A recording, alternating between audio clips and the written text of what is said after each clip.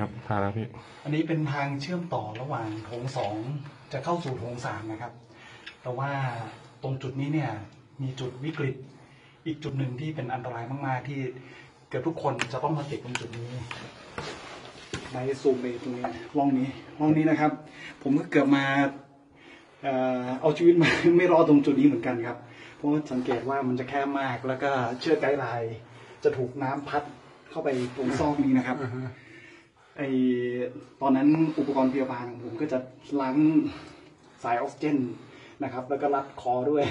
เข้าไปเกี่ยวในซอกนี้นะครับ กว่าจะแก้ได้นี่ก็ เรียกว่าใจหายใจคว่ำกันทีเดียว